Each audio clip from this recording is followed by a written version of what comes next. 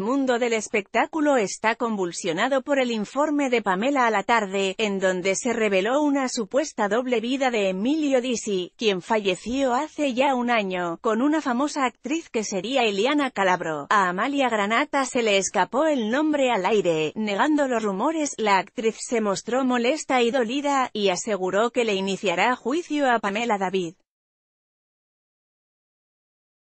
A Monty, a la productora y América, es todo falso, pero que se haga cargo ella, por Elvira, la viuda del actor, no voy a hablar y menos meter a mi padre, Dios lo tenga en la gloria Emilio, es de muy mal gusto hablar de alguien que no se puede defender, igualmente soqueada, Marina, la hermana de Iliana, mostró su desagrado por la difusión del rumor. Hace años que trabajo en el espectáculo y creo que es el peor rumor que he escuchado. Es de una bajeza tremenda y encima involucran el nombre de mi papá. Están todos locos, le escribió la periodista Ángel de Brito a manera de descargo, es de una bajeza tremenda y encima involucran el nombre de mi papá. Están todos locos, estoy indignada.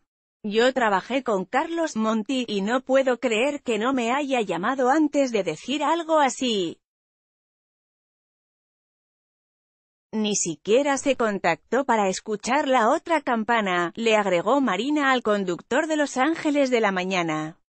Tras revelar el supuesto affair, Carlos Monti agregó ciertos datos que le contó Elvira. Hace dos semanas hubo un homenaje a Emilio Dizzi en Carlos Paz, y después una cena.